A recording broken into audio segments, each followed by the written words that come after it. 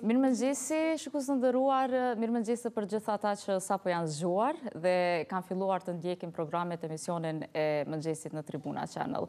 Sot, unë e kam studion plot me musafirë, do të diskutojmë diçka mjaft interesante, është fjala për qendrën për zhvillim të karrierës që është brenda UP-së, Universitetit të Prishtinës, njëkohësisht kjo njësi e njësi e zyrës për zhvillim akademik. Në studion time e kam këshilltaren, Elmedinën, mirë se erdhe. Faleminderit shumë. I kam po ashtu edhe dy praktikante të tjera, Silvien, mirë se erdhe, Silvien. Si dhe e kam Agnesën në studio, mirë se erdhe. Unë sot po ndihna shumë mirë, është pak si një mini feminizm këtu mrenda studios. Edhe ajo çka po më bon kështu edhe m'u ndi pak ma e fuqishme është se gjitha femnat edhe kjo po tregon se na mundemi në këtë aspektin do thotë sa i përket barazisë gjinore.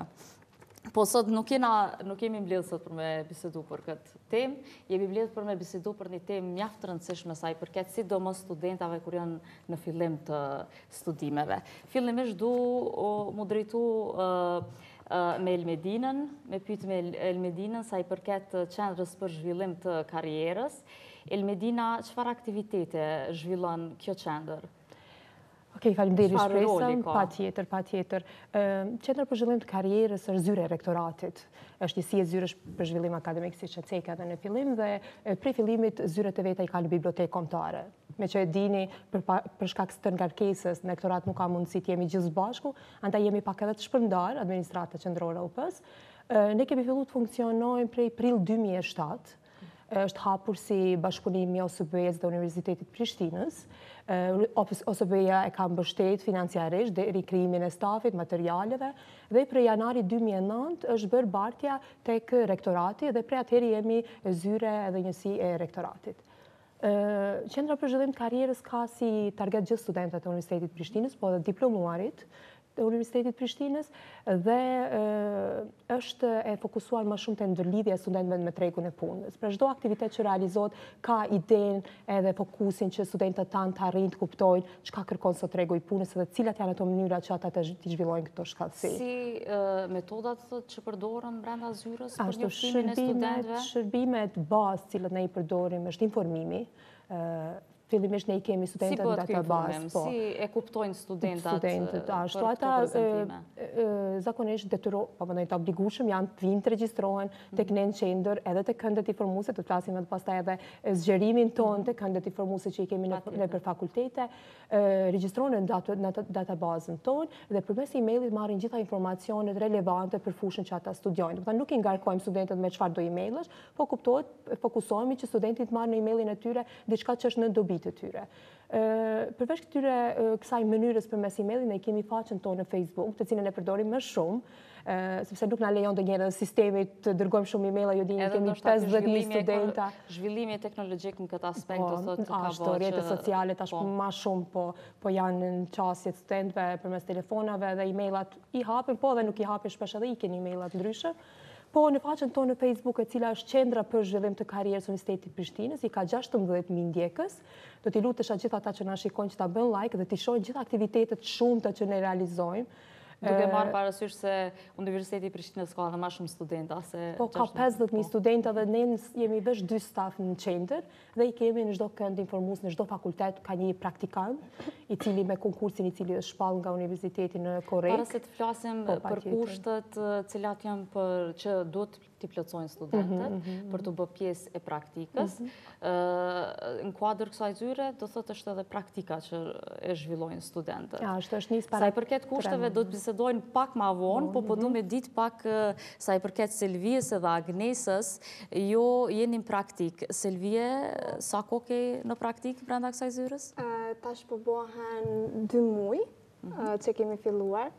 Konkretisht në fillim ka qenë, domethonë, shtatori, fillimi i shtatorit kemi mbajtë trajnimet, që na, domethonë, na për qandrat që jemi, domethonë, për universitetet, i transmetojmë këto trajnime që kemi marrë si bëhet një CV, një letër motivuse, materiale që kemi marrë, domethonë, në zyren tek Elmedina. Jau transmetojmë, domethonë, studentave, domethonë, në Universitetin e Arteve që jam une.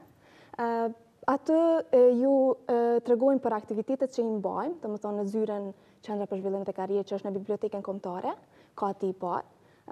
Mirë, aty po ka të interesun për aktivitetet që po i mbajmë, tash në fakultetin e arteve janë mbajtun dy aktivitete, dje ka qenë i dyti, është ka qenë për corporation për programet e Adobe-t. Të thotë është një lloj aftësimi që e me po. një gjatë tërkos, po. gjatë kësaj praktikës. Edhe ne i transmetojmë domethonë tek studentët, i njoftojmë që kur mbahen këto aktivitete dhe ka pas mjaft të interesum. Sa i përket Agnesës, Agnes, qysh po të shkon ty praktika? Te për mi, definitivisht... Sa kohë ki ti në praktikë? Edhe unë gjithashtu kam dy muj gati, kemi mbushur. Definitivisht, përfitimet janë të dyanshme. Jo vetëm studentët po përfitojnë prej informimit edhe këshillimit, por edhe ne jemi duke përfitu mjaft shumë. Jemi në komunikim me studentët, patjetër që jemi tu i zhvillu aftësitë komunikuse që janë të kërkume thuajse në tërë tregun e punës. Sa i përket, do thotë, zhvillimet komunikuse këto që i përmende, po. si është si mundësi, do thotë, për t'ardhmen, për punësim? Patjetër që është një mundësi tepër e mirë. Edhe në qoftë se në fillim kemi ardhur dhe ndoshta kemi qenë ashtu pak tu ngurru për me fol, për me komuniku me njerëz të cilët nuk i njohim, tash definitivisht veç jemi tu shku tu i zhvillu aftësitë komunikuese, edhe jemi shumë të hapur me gjithë studentët. Nga ana tjetër, përmes zhvillimit të aktiviteteve që i kemi për obligim brenda punës praktike, ne jemi duke zhvilluar edhe aftësitë organizative. Ne kemi për detyrë për me kontaktu kompaninë e cila mendojmë se sjell punësim, apo edhe programe praktike për studentët në njësi akademike, të cilën ne jemi duke zhvilluar praktikën, komunikojmë drejtpërdrejt me kompaninë, e bëjmë organizimin e, e tërë aktivitetit, i ftojmë studentët, i informojmë, mas, ka pas edhe kompani të cilat kanë bërë certifikimin e një numri të caktum të studentëve. Do thotë ju vazhdimisht keni kontakte edhe me kompani, organizatat. Patjetër. Ju a keni kontakte me kompanitë, organizatat e fushave për drejtimin e juj, që, për që, që përfaqësoni për shembull Fakultetin e arteve, Agnesa, ti në cilin fakultet? Unë jam në fakultetin ekonomik, por nuk është jo, jo me domosdoshmëri, po. sepse për shembull kom pas një aktivitet i cili ka përfshi, thuajse të gjitha njësitë akademike të Universitetit të Prishtinës, ka qenë program i praktikës, që ka marrë studentë prej secilit fakultet, domethënë me numër të caktum. Jo vetëm për fakultetin ekonomik në këtë rast. Po e shoh që shumë të mira paska, po sjell, edhe paska qenë shumë e nevojshme hapja e kësaj zyre, po për kushtet, Për studentët që nuk janë të informuar cilat kushte duhet të plotësojnë për t'u bërë pjesë e praktikës. Mhm. Shpresa ne kemi filluar para po i bën 8 muajve me praktikë, po dy gjeneratat e para kanë qenë pa pagesë, edhe kanë pas ka 3 orë me qëndru te këndi informus, po kanë marrë njësoj certifikatet e trajnimit, sepse, siç tha dhe Selvija, ne njëherë i trajnojmë këta praktikantët të cilët rrinë te këndi informus, sepse është pak ma specifike puna të cilën e bëjnë, Sepse studenti aty merr këshilla për përgatitjen e CV-së, letrës motivuese, përgatitjes për intervistë pune dhe kërkesës për referencë, të cilën sot e kërkojnë shumë punëdhënës që ta kemi një studenti ta ketë një referencë nga punëdhënësi i mëparshëm ose edhe nga profesori, po studenti këto shkathtësi të shkrimit të këtyre kërkesave për referencë pak i ka të mangëta, kështu që mundohemi përmes këndeve informuese t'i sjellim këto informacione sa më afër studentit. Studenti duhet të jetë pra student i rregullt i Universitetit të Prishtinës apo edhe i diplomuar në Universitet të Prishtinës. Kriteri tash i konkursit që është shpall nga rektorati, sepse studentët tash janë me pagesë, mhm. ka 80 euro po marrin në muaj dhe nuk është veç në qendër për karrierë, por është në të gjitha njësitë akademike, po ata janë fokusuar më shumë tek referentët, tek financat, sekretari e të tjerë, dhe aty marrin përvoja të mira. Po ka pas raste të punësimit? E po tani për tani, tani për tani, duke e ditur Universiteti Prishtinës i ka pak limituar shtimin... E keni pasi, do thot, si mundësi për t'ardhmen, do thot, nëse... Besoj që po, është politikë e universitetit, është politikë e rektoratit që në qoftë se shohim që kemi studentë apo të diplomuar që janë të aftë, pse të mos, kur dalin konkurset, të kenë përparësinë, kuptohet, konkursi është i hapur, gjithë aplikojnë, Dhe në qoftë se shohim që një student i cili ka qenë i mirë, ka edhe në CV-në e tij që ka qenë pjesë e Universitetit të Prishtinës, është një përparësi. Po patjetër, gjithmonë konkurset duhet të respektohen, në qoftë se ka tjerë që janë më të mirë, kuptohet që merren tjerë më të mirë, domethënë nuk është diçka. Sot sot do të jetë edhe një prezantim i radhës në kuadër të prezantimeve që i zhvilloni brenda qendrës së karrierës, është kriteret e tregut të punës. Unë i lexova se s'kam background ekonomik, mm, kështu po. që m'u dasht edhe njëherë me lexu mirë, mos bëj gabim. Shpresa, gjatë këtij, kësaj jave jemi tu mbajt ditët e orientimit. është një aktivitet tradicional i cili mbahet për të gjashtën herë dhe organizohet enkas për brucoshët, studentët e vitit të parë. Pse e kemi ideu që të jetë për studentët e vitit të parë, sepse duke e parë që studentët shpesh mbarojnë studimet dhe nuk e kuptojnë që ekziston një qendër e karrierës dhe mundësi që ofrohen për ta, dojmë t'i sjellim te studentët e vitit të parë prej fillimit të studimeve idenë e shërbimeve të karrierës. Ne të martën, ditën e parë të ditëve të orientimit e kemi pasë rëndësinë e shërbimeve të karrierës për zhvillimin e tyre personal dhe profesional. Dje kemi pas shërbimet e zyreve në UP, me të kuptojnë çka bën zyra për marrëdhënie me jashtë, çka bën administrata qendrore, mundësitë e angazhimit aty, po edhe bursa studimore për ata gjatë studimeve, shkëmbimet që bohen e tjere tjere. Është zyra për marrëdhënie me jashtë që i bon aplikimet, po ne kemi japë dhe vetëm informacion çfarë formash ekzistojnë edhe cilat janë ato programe. A ka të interesum për shembull sot për këtë prezentim?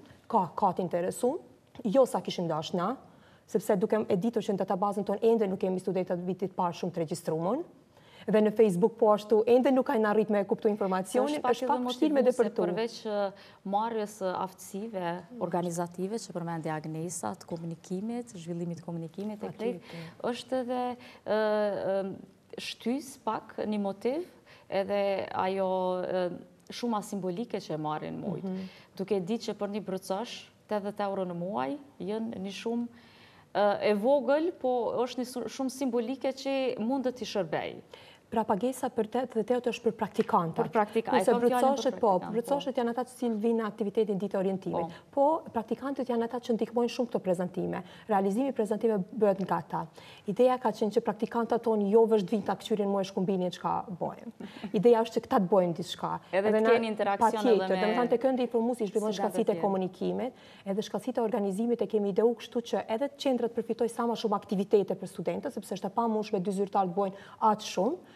Dhe përmes këndeve informuese ne arrijmë që studenti të krijojë shkathtësitë organizative, të kontaktojë me kompaninë, të krijojë kontaktin, t'i zhvillojë shkathtësitë e shkrimit të e-mailit edhe qasjes me punëdhënësit, t'i ftojë, t'i ftojë edhe studentat, t'i informojë, domethënë gjitha këto studenti e përfiton gjatë punës praktike. Gjithë këto shkathtësi i zhvillojnë përmes një praktike tremujore. Dhe kjo është e mira që e sjell praktika. Sa i përket sot prezentimit, jeni ndonjëra e Në pjesë e këtij dhe rëzëgjimit, nesër. Dje. Mhm. Kemi folur për bursat, jo vetëm bursat të cilat i ndan Universiteti i Prishtinës, po edhe mundësitë e programeve të ndryshme të cilat ofrohen prej universiteteve të jashtme, Bashkimit Evropian, që janë partner me Universitetin e Prishtinës, edhe me të vërtetë ka pas interesim, edhe ka pas, pasi që janë viti i parë, domethënë nuk i kanë ditë për ekzistimin e këtyre programeve, edhe gjitha këto programe i mbulojnë gjitha shpenzimet për shkëmbim të studentëve në njërin prej universiteteve të jashtme. E pyta Elmedinën për interesimin. Po. Tash, po du me ditë pak edhe prej kandit tuj si student. Sa është interesimi i studentëve dhe sa mendoni se është i informum? A ka nevojë ende edhe ndonjë metodë tjetër ose formë tjetër të përdoret për informim të studentëve? Me të vërtetë në qoftë se ne qëndrojmë vetëm te këndi informus, Ka shumë studentë që hezitojnë m'u afru, se ndoshta ende nuk e dinë, nuk kanë informacione ma të qarta se për çka ekzistojmë ne. Por e kemi ba një formë tjetër që të shkojmë për shembull nëpër salla pak para se me fillu ligjëratat ose ushtrimet, për m'i shpjegu ma shumë se për çka ekziston Qendra për Zhvillim të Karrierës, edhe me pas mundësi edhe m'i regjistru në databazën tonë, me qëllim që t'i informojmë për gjitha aktivitetet. Në kuadër të këtyne pregaditjeve, hyn edhe pregaditje do thotë që janë teknike. Aftësohen praktikantët edhe në këtë aspekt, përfshihen në pregaditje teknike. Patjetër, patjetër. Kam fjalën në pregaditjen e materialeve, mhm. edhe kjo është një lloj aftësimi që do t'ju nevojitet në të ardhmen në punë. Po, Meqë zyra jonë nuk ka aq pajisje teknike që secili të kyçet dhe t'i bëjë, zakonisht unë e Shkumbini i bëjmë printimet e listave të nënshkrimeve, studentëve që vijnë pjesëmarrës dhe kështu, ne mundohemi që të mos japim shumë materiale në dorë, gjithçka që bëjmë është i dërgojmë materialet në formë elektronike dhe kështu i ikim edhe printimit, edhe letrave që krijohen, sepse ne shpesh kemi qenë në kënde informuese dhe kur ia japim broshurën, shpesh broshurat përfundojnë në bërllok. Edhe kështu kemi, kemi mendu që nuk është aq, ndoshta e mirë t'i japim letra, po t'ia dërgojmë përmes e-mailit dhe studenti e ka gjithmonë kur don me e shiku e ka në e-mailin e tij.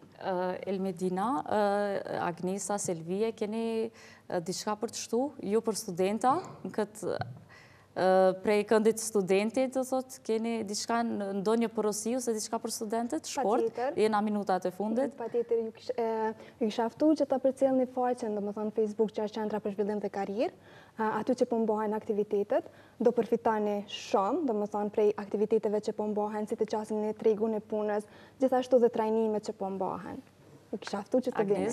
Edhe të mos hezitoni mu regjistru në databazë, shpeshherë ju shpjegon Adin çka është pse ekziston qendra për zhvillim karrierës edhe prapë se prapë hezitojnë me qenë të regjistrum, ndoshta mendojnë që ato dhana do të publikohen dikun apo nuk e di pse jonë duke hezituar Por ju them që me të vërtetë përfitimet janë shumë të mëdha, patjetër. Ia vlen. Elmedina, ki ti çka të shtosh? Shpisa, patjetër. Jena të limitume, jena të limitume, po koha, po ka shumë të flitet, sepse aktivitetet janë shumta, i ftoj që ta përcjellin, sepse aty i shohin edhe konkursin për trajnime të cilat certifikohen për të marrë pjesë, panairin virtual karrierës që e kemi në maj, është mundësi tepër e mirë të shfrytëzojnë platforme virtuale, edhe të jenë pjesë e qendrës edhe përfitojnë sepse veç në atë mënyrë e pasurojnë CV-në edhe kur vjen koha e intervistë pune kanë çka të flasin në intervistë punës. Ju falenderoj shumë që ishit pjesë e programit të mëngjesit. Për ndonjë të re ose ndonjë zhvillim tjetër mbrenda kësaj qendrës. Patjetër. Jeni po ashtu të ftume. Ju falënderoj edhe një herë. Shikues të nderuar, ishte kjo sa i përket temës që bisedum për zhvillimin, për qendrën për zhvillim të karrierës, sot do të do të është do thotë edhe prezentimi kriteret e tregut të punës. Kush është interesum nga studentët e Fakultetit Ekonomikut, janë të ftuar, janë me dyer të hapura, kurse tash na shkojmë me lajmet nga teknologjia.